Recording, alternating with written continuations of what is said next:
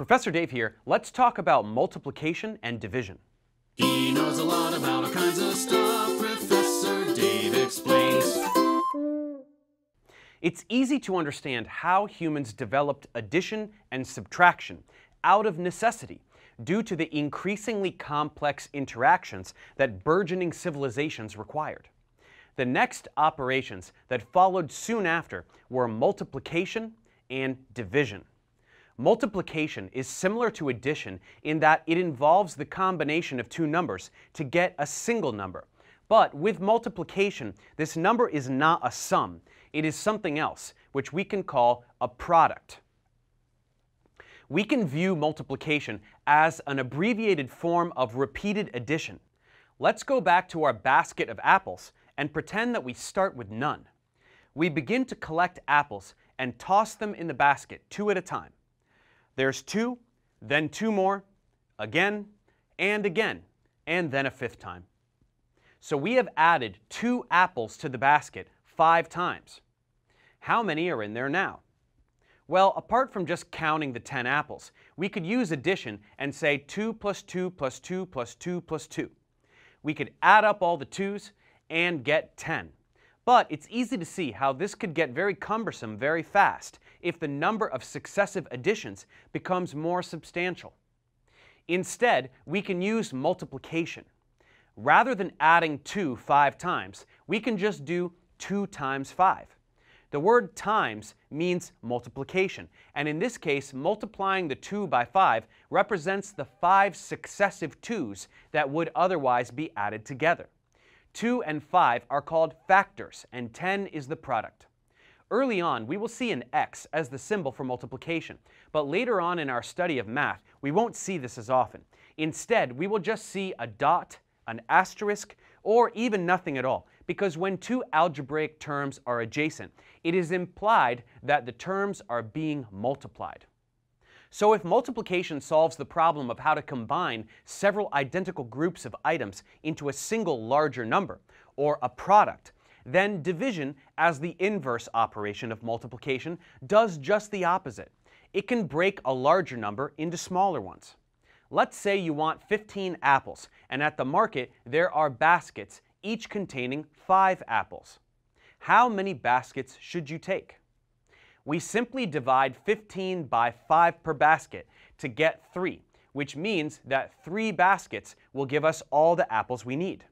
15 is the dividend, and 5 is the divisor, while 3 is the quotient.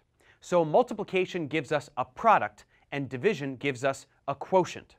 With division, early on we see this symbol, but later on this will almost never be used. Instead, we will see a line either at an angle or horizontal. With this kind of notation, the first number will be divided by the second. We should note that multiplication, like addition, is commutative. 2 times 5 is the same as 5 times 2, because whether we have 5 piles of 2 apples or 2 piles of 5 apples, we have 10 apples in total. Division, however, like subtraction, is not commutative. 10 divided by 2 is not the same as 2 divided by 10. Also, multiplication is associative. 2 times 3 times 4 will be 24, no matter which numbers are multiplied first.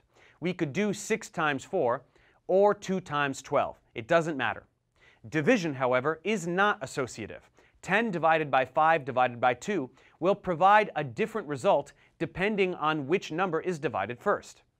This is not arbitrary. We defined these operations and then observed whether or not they abide by commutativity and associativity.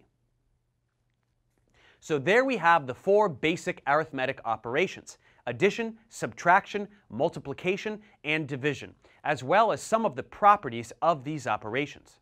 The more we practice them, the easier they become, and it may be of some use to memorize the multiplication tables. Remembering offhand that 8 times 7 is 56 is not only faster than using a calculator, it should also be a mild source of pride.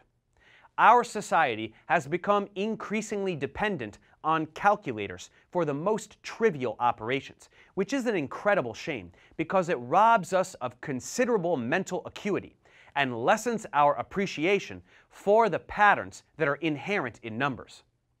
So the next time you pull out your phone to do something that should be done in your head, just picture me making this face. Don't worry, later we will learn some tips on how to do mental math.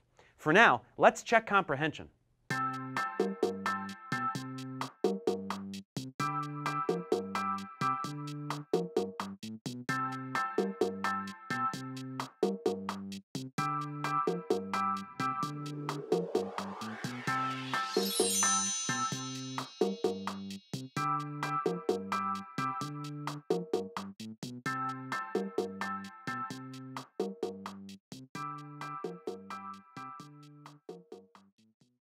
Thanks for watching guys. Subscribe to my channel for more tutorials. Support me on Patreon so I can keep making content. And as always, feel free to email me, ProfessorDaveExplains at gmail.com.